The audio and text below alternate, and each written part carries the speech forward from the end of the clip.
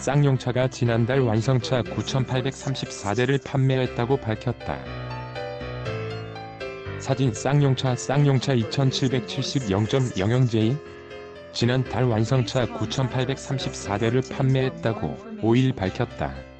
쌍용차는 국내에서 8,208대를 판매하고 1,626대를 수출하며 월 판매량이 1만 대에 근접했다.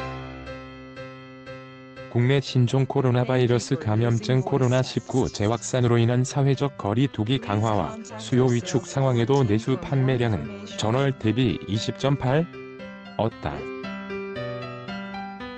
지난해 같은 기간과 비교해도 13.4 가했다. 지난 7월 이후 두 달 연속 증가한 판매량에 대해 쌍용차는 온 오프라인 대상 공격적인 판촉 활동이 성과를 거뒀다고 설명했다.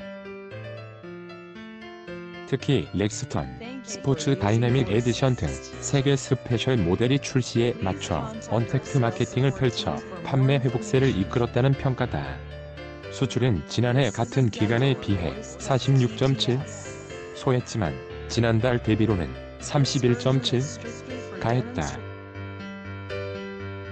쌍용차의 수출 실적은 지난 6월 이후 3개월 연속 상승세를 기록하는 등 회복세가 지속되고 있다. 코로나19 사태 장기화에 따라 쌍용차는 수출 시장 회복을 위해 온라인 론칭 등 비대면 채널을 확대하는 한편 글로벌 네트워크 재정비를 통해 포스트 코로나 시장에 대비하고 있다.